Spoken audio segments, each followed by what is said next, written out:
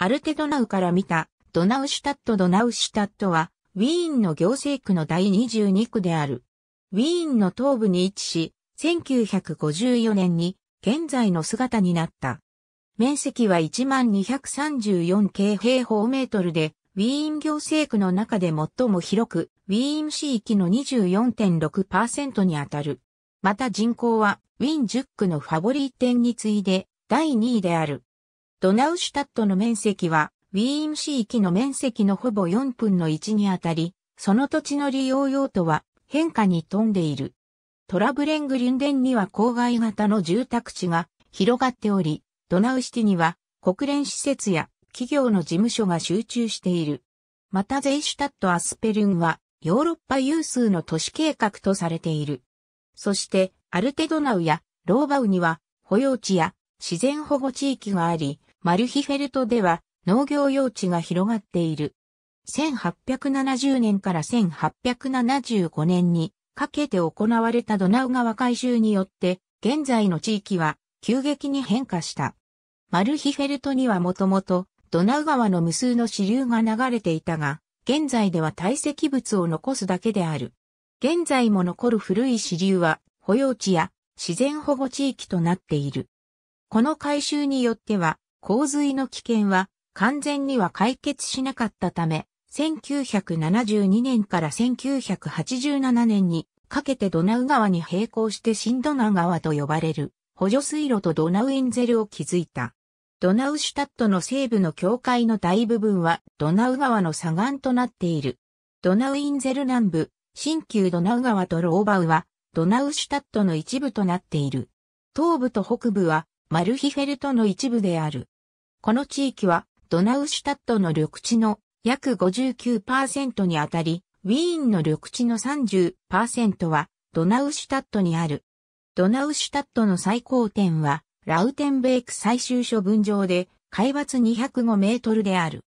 ライヒスブリュッケ、レオポルトシュタットとウィーン中心街からドナウシュタットをつなぐ主要な橋西部及び南西部で2区、レオポルトシュタットと11区、ジマリング、ニーダーエスターライヒ州、シュベヒャートと接している。ドナウ川の北側が東部及び北部の境界線である。その大部分は農業用地として利用されている。また東部と北部における近隣地域はグロースエンツァースドルフとマルフフェルト地域のラースドルフ、アーデルクラー、ドイチュバグラム、そしてゲラスドルフバイウィーンである。北西部では21区、フローリツドルフと接している。DC タワーから見たカイザーミューレンドナウシュタットは1954年に現在の区域になった。ドナウシュタットの25.0%が開発された地域にあたる。この比率はウィーンの行政区の中で2番目に低く、ウィーン全土の33.32%も下回っている。開発された地域のうち57.4%が住宅地として28.4%がその他の用途に利用されている。ドナウシュタットは住宅の割合がウィーン市内に比べて高い。文化、宗教、スポーツ、公共の施設の割合は6.0%である。緑地は計58.4%を占める。その緑地のうちほぼ51.9%は農業用地であり、10区、フォボリーテント21区フローリツドルフに次ぐ残りの緑地の大部分は25.71%が森林、そして13.45%が草地である。ドナウシュタットの8.60%を占める河川、あるいは湖、池などは重要である。また、道路用地は8.02%であり、ウィーン行政区の中で2番目に低い。ドナウシュタットという名称は19世紀末、1870年代のドナウ川改修工事によって建設地域として利用できるようになった第二区を指す言葉として登場した。フォイヤーベルクスメースの一部とアウスシュテルング通り、ラサーレ通りとドナウ川との間、あるいは北駅とドナウ川との間は新しい市域として計画され、20世紀初頭までに完成した。ドナウシュタットという名前はあまり住民の間に浸透しておらず、その代わりに個々の地区の名前が使われていたが、1954年、ドナウシュタットは正式に22区を指す名前として選ばれた。ドナウシュタットという名は、今日もなお、2区、レオポルトシュタットにあるアッシジの聖フランチェスコ教会で、ドナウシュタット教区として使われているほか、古い新聞や古い地図で見つけることができる。今日ドナウシュタットとされている地域における歴史的な出来事は、カール大公とナポレオン・ボナパルトとの間で1809年に行われたアスペルン・エスリンクの戦いである。この戦いはナポレオンが直接指揮する軍隊が敗北した数少ない戦いの一つである。アスペルンの獅子像が戦いを記念して建てられた。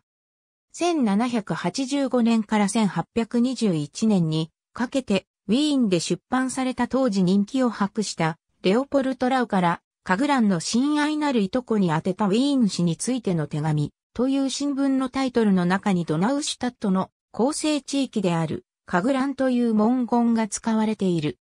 この新聞はレオポルトラウの田舎者が方言を使って隣接するカグランに地元の出来事についてコメントしたり、当時のウィーンの姿について風刺する体裁をとっている。カイザーミューレンはウィンに合併された最初の地域である。ドナウ川改修工事の前、ドナウ川の主流の南部にあったカイザーミューレンは1850年に2区、レオポルトラウへ合併され、ドナウ川改修工事の後1938年まで2区の一部だった。カイザーミューレンのミューレンとはもともと水車小屋を指すが、カイザーミューレンという地名は、ドナウ川改修工事の前に数多くこの地域にあった水車小屋の面影を残している。ウィーン周辺のドナウ川の定期的な氾濫によって、ドナウ川沿岸地域の経済的な発展と開発は遅れていた。だが、1870年から1875年にかけてドナウ川改修工事が行われ、その問題は解決された。現在のドナウシュタットの区域の大半は、かつての支流だった場所が改修工事によって整備された地域にあたる。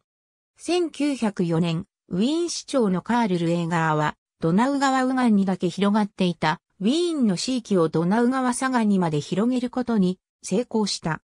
ドナウ川左岸には、フローリツドルフ、イエドレゼー、グロースイエドラースドルフ、ドナウフェルト、レオポルトラウ、カグラン、ヒルシュシュテッテン、シュタトラウ、アスペルン、ローバウシッ地帯が法的に合併された。そして1910年にはシュトレーバースドルフが合併された。これにより、現在の22区の3分の2が、ウィーン21区となった。1919年から1934年にかけての赤いウィーンと呼ばれるウィーンの社会主義時代には積極的な建設政策が取られた。カイザーミューレンのゲーテホーフ、カグランのフライホーフジートルングなどの共同住宅が建設された。そしてアルテドナウの岸辺には下水浴場が作られた。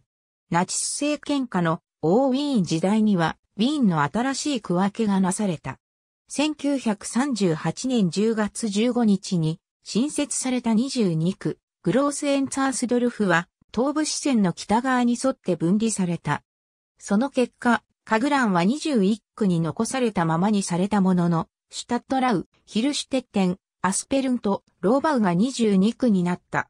また、カイザーミューレンが2区から21区へと改変された。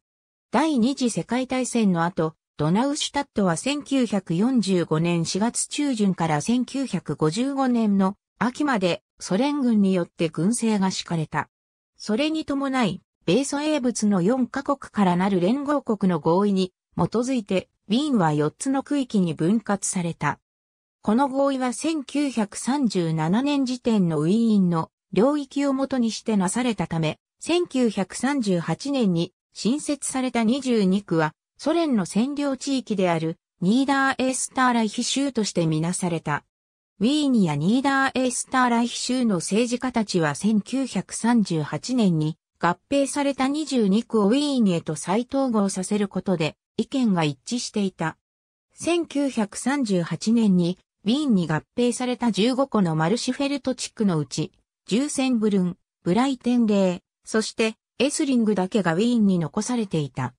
ウィーン、ニーダーエスターライヒ州、そしてオーストリア連邦共和国政府は、ウィーン市域改編法を決議したが、中央ソ連軍の意義に基づいて、連合国軍委員会で、ウィーン市域改編法の施行は保留とされた。1954年になって、ようやくソ連代表が市域の改変について同意したことによって、ウィーン市域改変法は1954年7月2日施行された。これによって、ウィーン市は再び現在のドナウシュタットと呼ばれる地域を再編入し、グロースエンツァースドルフは再びニーダーエスターライヒ、州に属する独立した自治体となった。